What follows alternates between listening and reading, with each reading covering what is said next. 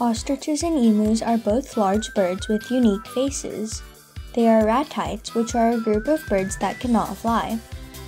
They also have long, slender necks and legs, so they look pretty similar to each other. Because of these features, people may sometimes mistake one for the other. Then, how can we distinguish them? Ostriches are much larger than emus. Ostriches can be 5.7 to 9 feet tall and weigh between 200 and 300 pounds. Male ostriches can be up to 2 to 3 feet taller than females. Emu's height is between 4.9 and 6.2 feet, and they weigh between 66 and 121 pounds. Female emus are larger than males, and they can be about 11 pounds heavier than males. The color patterns on their feathers are also different. Adult male ostriches have black feathers with white wingtips, but female ostriches and their chicks have dark brownish plumages. On the other hand, emus have long, soft feathers, and they consist of a mixture of brown and gray all over their bodies. Although both ostriches and emus can fly, they still have wings. However, the size of these is very different. Ostriches have a wingspan of about 6.5 feet. They use their wings to maintain balance while running and to stay cool in hot weather. Emus have very short wings. They are only about 7 to 8 inches long, and there is a claw at the tip of each. It is not easy to spot these wings because of the size and the consistent color patterns. The number of toes is another difference.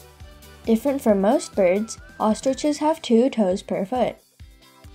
Emus have three toes on each foot, which is a bit more common amongst other birds such as waders.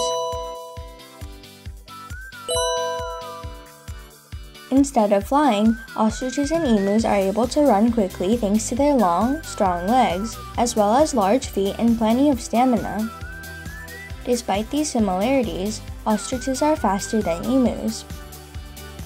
Ostriches are the fastest land animal with two legs. They can sprint up to 43 miles per hour. Emus can also run as fast as 31 miles per hour.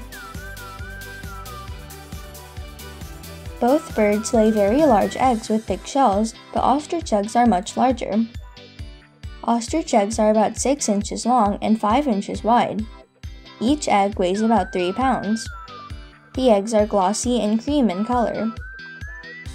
Emu eggs can measure 5 inches long and 3.5 inches wide. Each egg is about 1 to 1.4 pounds. These eggs are dark green with blue specks. Ostriches and emus are found in different continents. Ostriches mostly reside in southern and eastern Africa, but they were also introduced to and can be seen in Australia. They are found in grasslands, semi-deserts, shrublands, and open woodlands. On the other hand, emus are found in many parts of Australia and New Guinea.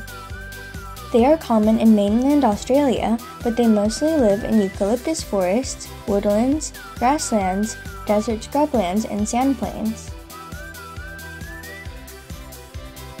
Their mating behaviors are also different in general.